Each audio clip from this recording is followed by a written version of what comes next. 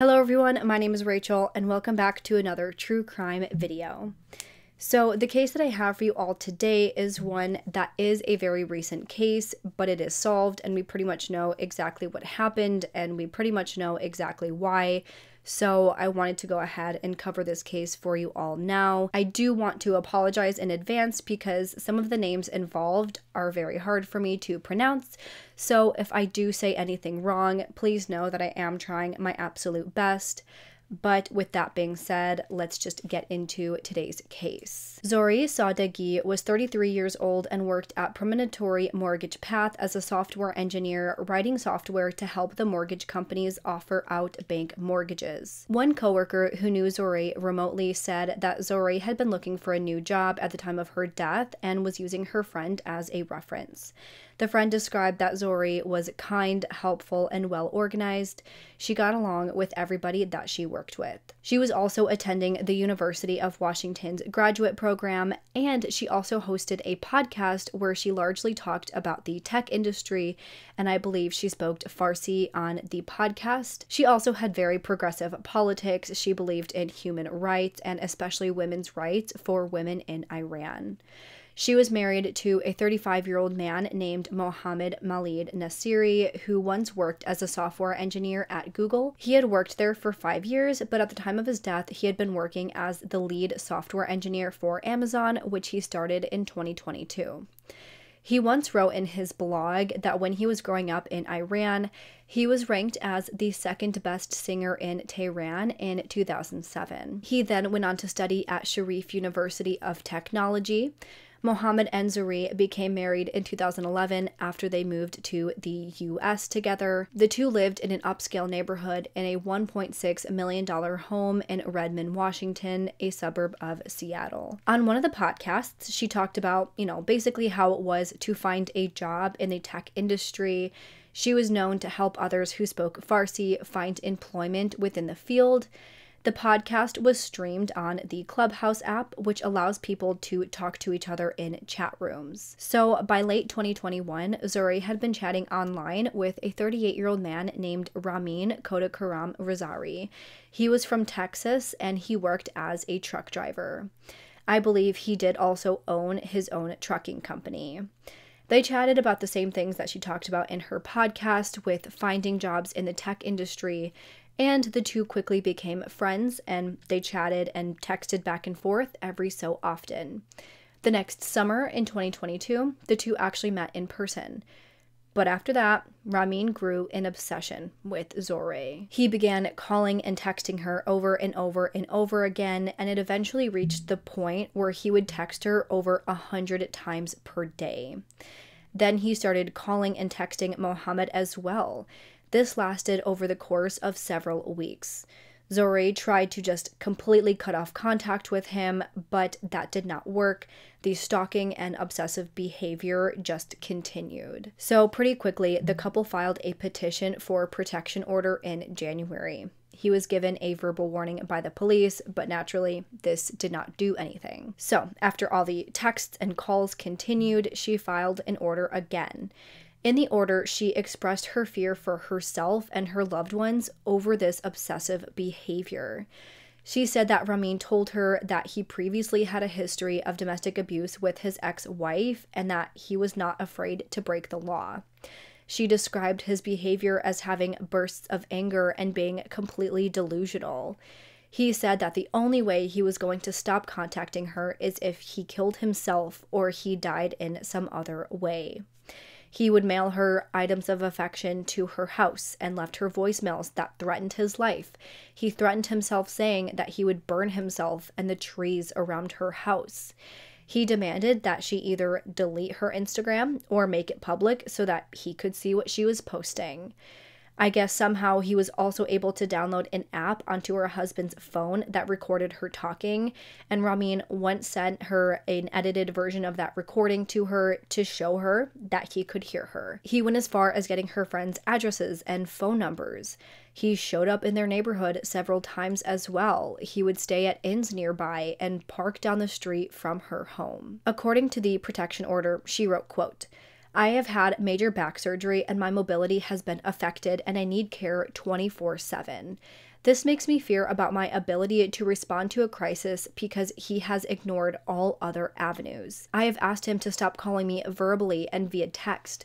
I have called the police and he has been warned not to call or send gifts to my house.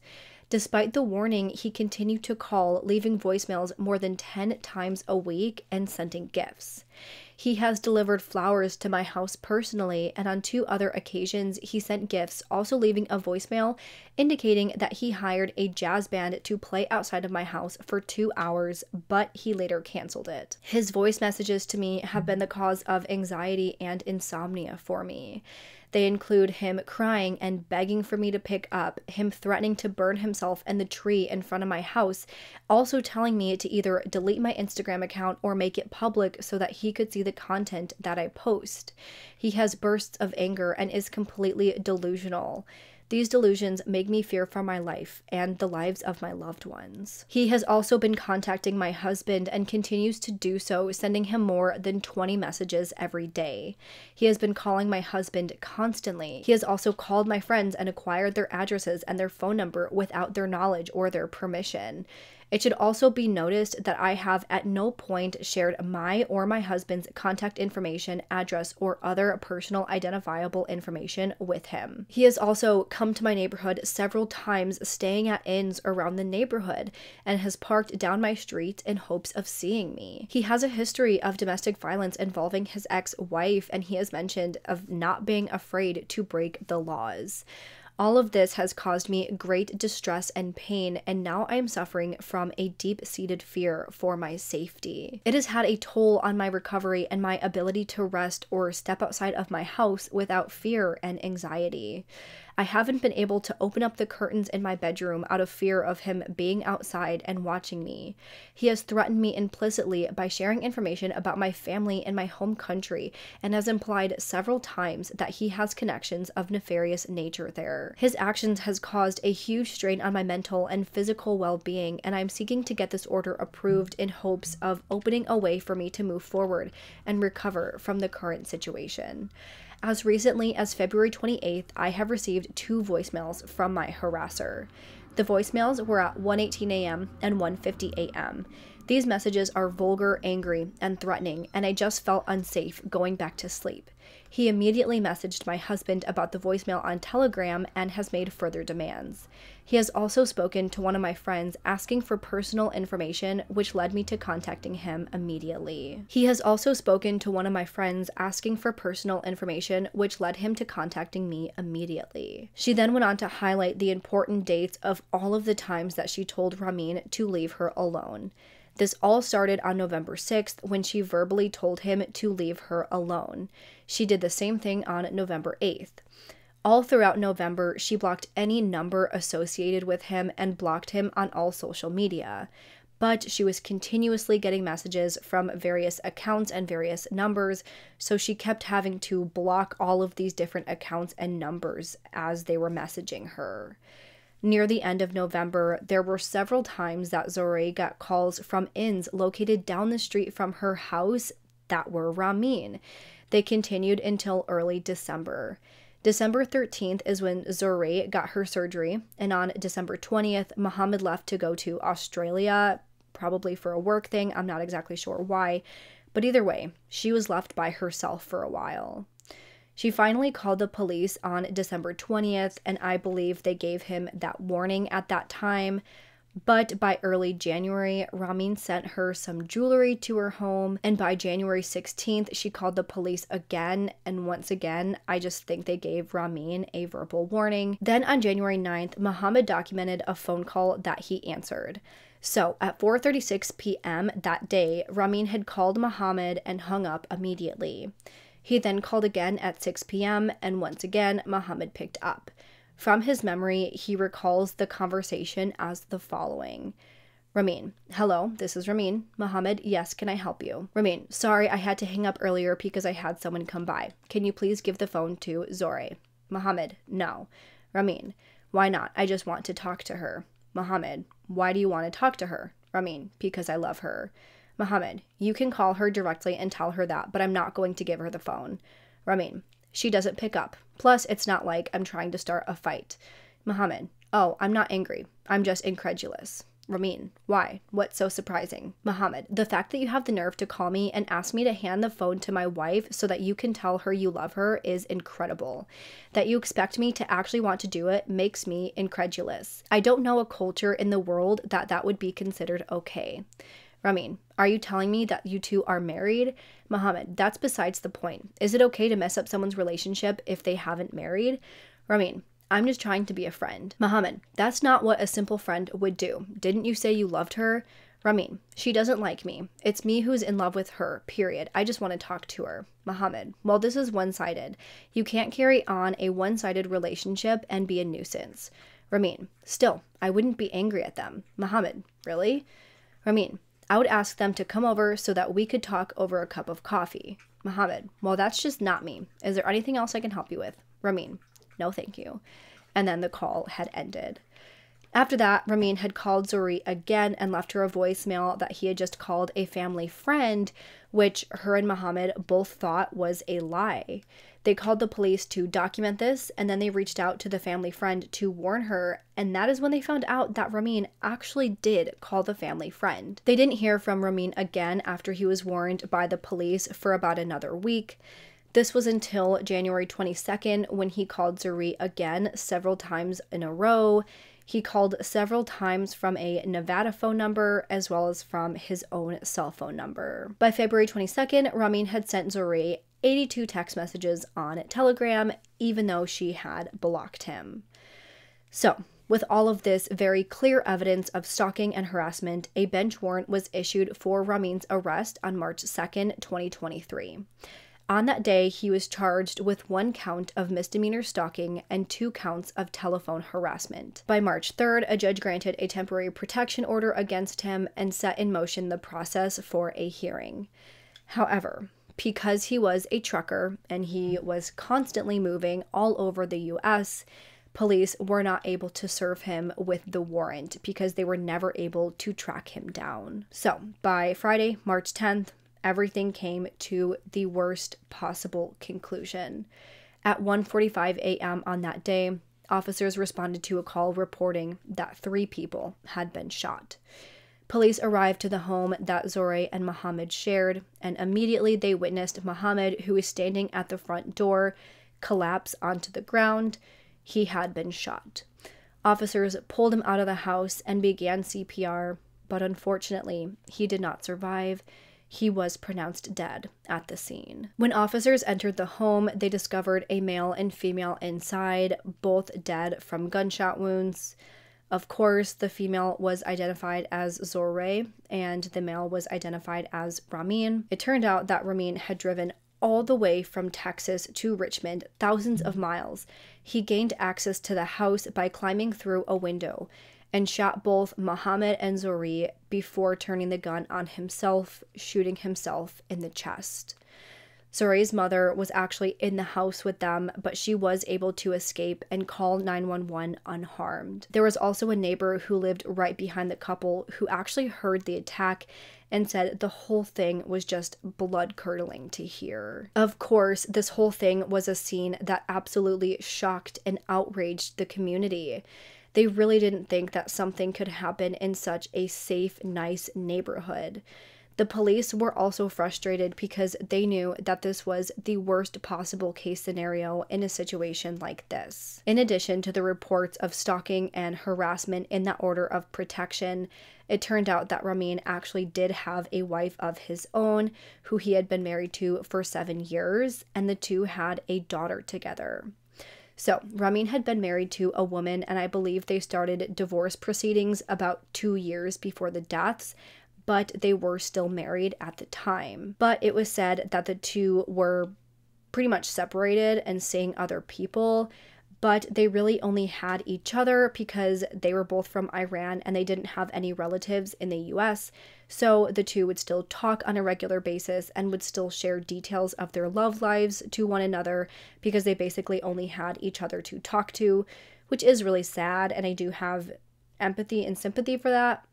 Obviously, I don't have sympathy for what Ramin did, but I'm sure it's very hard to be in a foreign country, no relatives, no one except each other I'm sure that is very difficult. But either way, Ramin's ex wife, who wished to remain anonymous, she said that in the weeks before this incident, she did notice a shift in Ramin's behaviors. She said that months before this, Ramin told his ex wife that him and Zohreh were dating after he met her through that podcast. He told her that the two had met up in person multiple times, but she said that a few weeks later, he told his ex wife that Zohreh broke up with him against his wishes. After this, she said his behavior changed. She said that he was really crushed when Zohreh cut him off and that he would often cry when they spoke because of how upset he was. She said that this was very out of character for him, that he had never really been like this before until after Zohreh had cut off contact with him. After this is when she said he became obsessed with her, but she never thought that his behaviors could escalate in this way. I also don't know anything about the domestic abuse. I don't know if she confirmed it or denied it, or if this was something that he was just telling Zohreh to scare her. That's sort of what I'm thinking about that, but also at the same time, it could totally be true, but I also don't get why they would stay in contact if he abused her. Again, it could be because they really did only have each other, but I don't know if it's confirmed that he abused his ex wife at any point or his daughter. I did see in some articles that there was some behavior that Zohreh was hiding from her husband when her and Ramin first met, so maybe there was something going on for a minute. I'm not one to victim blame or judge, and I definitely don't want to speculate. We truly don't know if they were friends initially because she truly thought that he was interested in the podcast or if there was something more going on and, you know, something happened and she cut him off. I don't know if them meeting up in person was including her husband or not. I don't know if he even knew about that. I don't know if they truly met up more than once or if it really was only that one time. He said that it was more than once. She said that it was just the one time, as far as we know. We don't know exactly which one is true, but either way, whether she did have a short situation with him that went against, you know, her husband. Obviously, that's bad. Obviously, the husband does not deserve that kind of thing. But no matter the situation, she did not deserve for her life to be lost, and obviously, neither did her husband. There is no way they could have known that meeting this listener would have caused him to having this obsession. And even if she did have some sort of relationship with him, there's no way she could have known that this was what was going to develop from it. Part of me wonders if maybe this was a situation where they started talking and she didn't initially disclose that she had a husband and maybe things were progressing and she was like, you know what, I have a husband. Things can't go any farther. We cannot have a relationship. So maybe she sort of led him on, whether intentionally or unintentionally. And then after that, he became obsessed with her, either trying to get her husband to get away from her by calling him all the time, either that or just trying to insert himself in their lives. Maybe he was obsessed with the both of them after that point. Who is to really say? We don't know exactly what was going on in Ramin's head. We don't know what the whole relationship was like between the three of them or between Zohreh and Ramin. But at the end of the day, he was obsessed with her for whatever reason. And this is what happened. I also saw reports from one neighbor who said that Zohreh's mother would frequently just sit in front of the house, well, inside the house, but would sit in front of the window and would just stare outside. This says to me that they were all really, really worried that this exact situation would happen and he just happened to catch him off guard, unfortunately. So that's pretty much the information that I have on this case. Again, it is a very recent case, but I imagine there won't be too much more that's released about this because I feel like it's a pretty cut and dry case. I do want to blame the police for this one at some level, but honestly, if I'm being completely blunt and honest, I think they did what they could. They charged him with stalking and harassment and they put out a warrant for his arrest, but they just didn't find him quick enough, which, yes, they could have put more hours, more manpower into finding him, but really, who like who could have known where he was unless they went and like tracked his routes through his trucking company but even if they did that who's to say that he even followed the routes or even documented it because he had his own trucking company so Obviously, I wish more could have been done. But if nothing else, let's let this case be an example of why we need to be so, so, so very careful of every single person that we meet online. Let's make sure to keep our personal information to ourselves. Let's make sure we recognize these types of red flag behavior and keep records and keep receipts. So if something does grow to the point that it can be reported, you have every little detail at your disposal so you can show the authorities just how dangerous this person can be. So that when you make that report, when you try to show the authorities what is truly going on, you have the receipts and you can tell them exactly what's happening. This is truly a tragic situation because Zohreh literally knew that this was going to happen. I can't even imagine what could have been going through her and her husband's head when all of this was happening my heart absolutely goes out to the two of them. But that is all of the information that I have on today's case, and now I want to know your guys' thoughts. What do you think of this entire situation? Do you think that the police could have done more? What do you think about Ramin and what was going on in his head? Let me know any thoughts that you have in the comments below. With that, if you liked this video, please make sure to go ahead and leave this video a thumbs up and subscribe to my channel. I put out new true crime and mystery videos every single week. Don't forget to go ahead and turn the notification bell to on so you don't miss out on any of my future videos. Make sure you go ahead and follow me on Twitter and Instagram. Both will be linked down below. And if you have absolutely any case suggestions, please make sure to go ahead and fill out the Google form that I also have listed down below. With that, I hope you guys have an amazing week Stay safe, stay healthy, and I hope to see you next time. Bye.